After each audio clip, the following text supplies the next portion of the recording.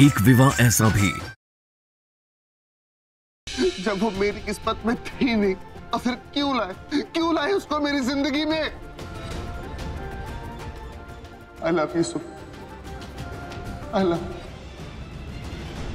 आप किस बात का टेस्ट ले रही हैं इन तीनों का? मजली ये इन तीनों नई बहुओं की काबिलियत परखने का टेस्ट है। मैंने सोचा है कि अब तुम तीनों सासों को घर की जिम्मेदारियों से रिटायर कर दिया जाए, क्योंकि अब घर की ज़िम्मेदारी संभालने के लिए तीन नई बहुएँ आ गई हैं और समझदारी परखने के इस टेस्ट में सबसे अव्वल रही है। लो डाइवोर्स पेपर्स साइन करते हैं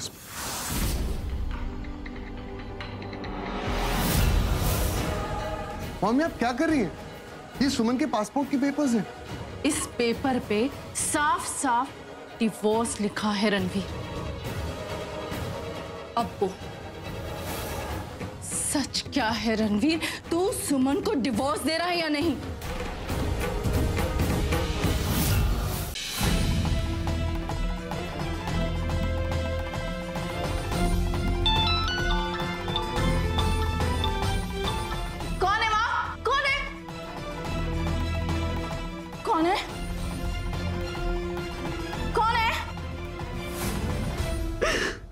ये जो भी कुछ हो रहा है ना हमें मिलके उसका सामना करना होगा।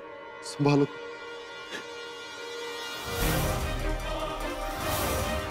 क्या चल क्या रहे हैं यहाँ पे हाँ? चलो सुमन वक्त आ गया तुम्हारा यहाँ से निकलने का। हम इसी वक्त जाएँगे यहाँ से चलो। बधाई क्योंकि अब तो आप इस घर की मालकिन हो गई हो। चाबियाँ जो आपके पास। भाभी हाँ लाडू क्या हुआ? वो तो आप बताइए ना भाभी की क्या बात है? सुमी मैं जानता हूँ कि इस घर और यहाँ के लोगों से तुम बहुत प्यार करती हो। और यहाँ से जाना तुम्हारे लिए आसान नहीं लेकिन सुमनी तुम सबसे ज़्यादा प्यार तो मुझसे करती हो ना जान? चलो सुन अपने घर चलते हैं।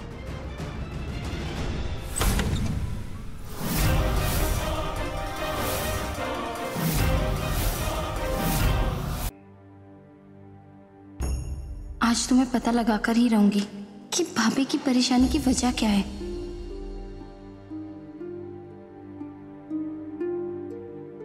भाभी?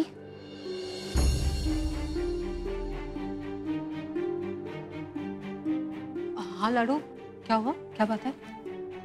वो तो आप बताइए ना भाभी की क्या बात है।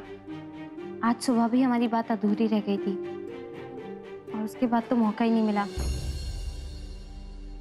बताइए ना भाभी, क्या बात है? क्यों मैं लाड़ो को ये बताकर टेंशन में डाल दूँ कि उसके भैया ज़िंदा है? जबकि मुझे खुद को नहीं पता कि कल मैं कहाँ रहूँगी। मेरे पीछे से ये यही सोचकर परेशान होती रहेगी कि उसके भैया आखिर उससे सज्जू से और मासा से क्यों नहीं मिल पाए?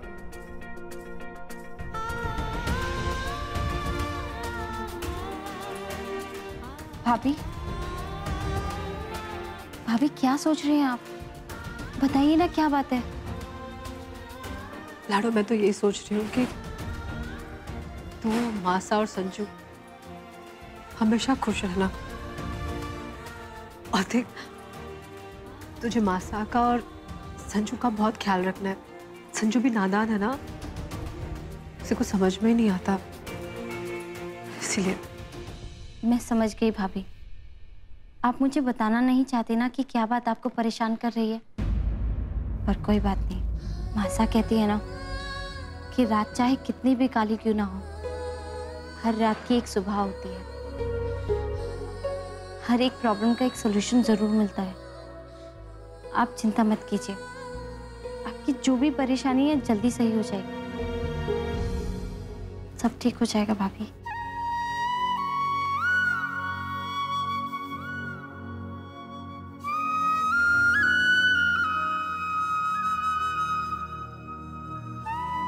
तू बहुत प्यारी है और बहुत समझदार भी। हमेशा ऐसी रहना। हाँ? आप ठीक तो है ना भाभी? मैं रणवीर जी से कहूँगी कि कल आपको कहीं पर घुमाने के लिए लेकर जाए ताकि आपका मन अच्छा हो जाए। कल का दिन तो मेरी ज़िंदगी की रात बनकर आएगा लाडो कल मैं यहाँ नहीं रहूँगी। भाभी। अब आप आराम कर लीजिए। ठीक है? गुड नाइट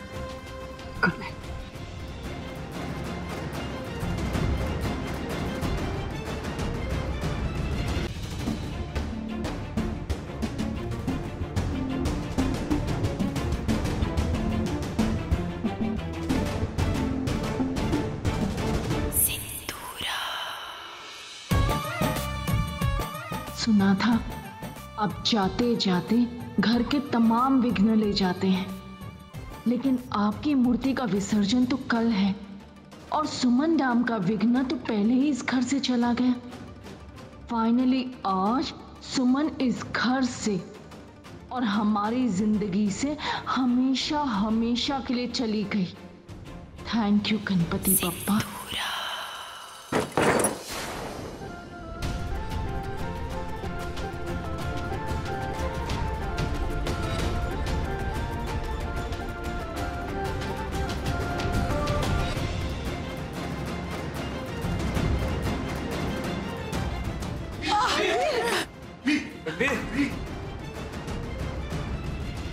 सब जन रणवीर से दूर हो जाओ।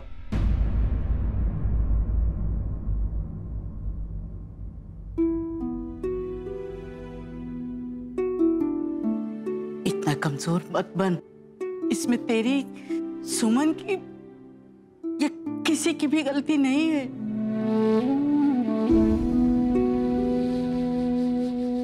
कड़वा है, पर सच यही है, बेटा। कि सुमन का पहला पति और वीर का पिता ज़िंदा है। और सुमन पर पहला हक उन्हीं लोगों का है बेटा। यही सच है और यही सच शायद तुझे सारी उम्र ढोना पड़ेगा। मानसा बिल्कुल ठीक कह रही है बेटा। तो संभाल अपने आप को छोरे इसमें सिर्फ़ कसूर सिर्फ़ हालात का है। बेकार की बातें मत करो नुपुर। अब सुमन की अपनी ज़िंदगी है उसका पति उसका बेटा उसका घर। अब यही उसकी ज़िम्मेदारी है जो उसे वो संभाल रही है। उसकी गृहस्थी में तुम्हारी कोई जगह नहीं है बेटा। रवि जी उठिए आपकी चाय और चाय जल्दी पी लीजिए, वरना ठंडी हो जाएगी रणवीर जी।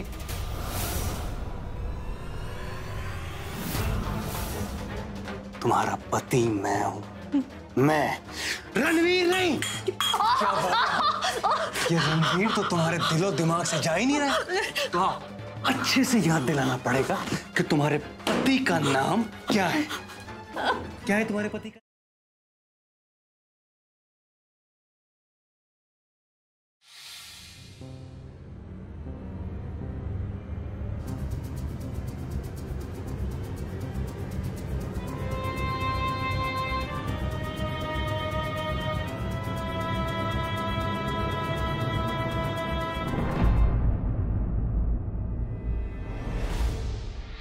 मीरा कहाँ है?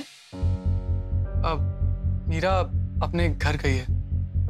अरे ऐसे कैसे अचानक चली गई? बिना बताए। तुम दोनों में कोई बात तो नहीं हुई ना? अ, वो क्या कहते हैं? फाइटिंग शाइटिंग वगैरह?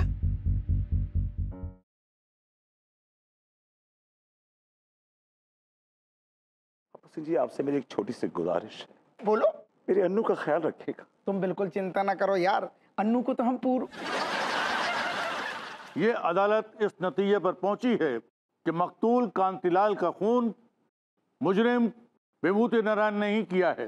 इसलिए यह अदालत विभूति नारायण मिश्रा वल्द आहुति नारायण मिश्रा को ताजीरात हिंद दफ़ा 302 के तहत फांसी की सजा देती है।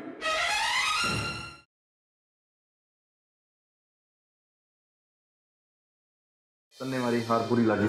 ना लक्की जी हार जीत का के ये तो खेल का हिस्सा से ना। मेरे लिए तो आप हमेशा हीरो नंबर वन ही रहोगे। अरे में जरा सी भी अक्ल है कि ना है? एक तो हमारे छोरे को हरवा दिया तूने। हरवा दिया? हाँ हमारी वजह से हारा है हमारा छोरा आज। तूने उसको ब्याह के कामों में ऐसे उलझा दिया कि बेचारा कुश्ती की प्रैक्टिस ही ना कर पाया। इतना बड़ा महा मुकाबला हुआ और हमारा छोरा हार गया।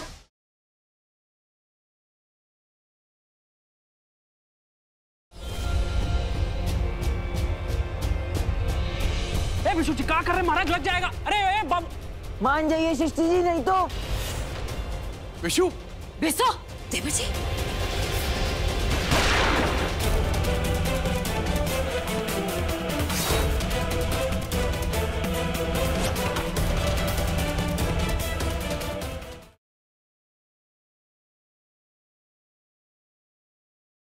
संतोषी। तुम हमेशा मेरे साथ रहोगी। ये कैसा सवाल है?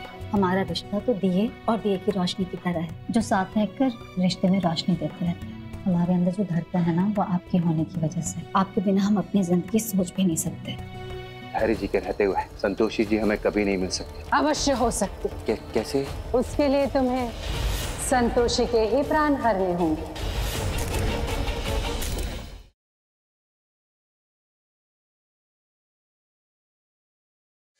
प्रभु आपने दर्शन देकर मुझे तो क्षमा कर दिया। परंतु माता सीता मुझे कब क्षमा करेंगी और कब मुझ अधम का उद्धार होगा? यदि तू अपना उद्धार चाहता है तो भगवान कंस की शरण में जा। वही तेरा उद्धार करेंगे। ये शरीर है और वायु से निर्मित उत्कच कौन है प्रभु?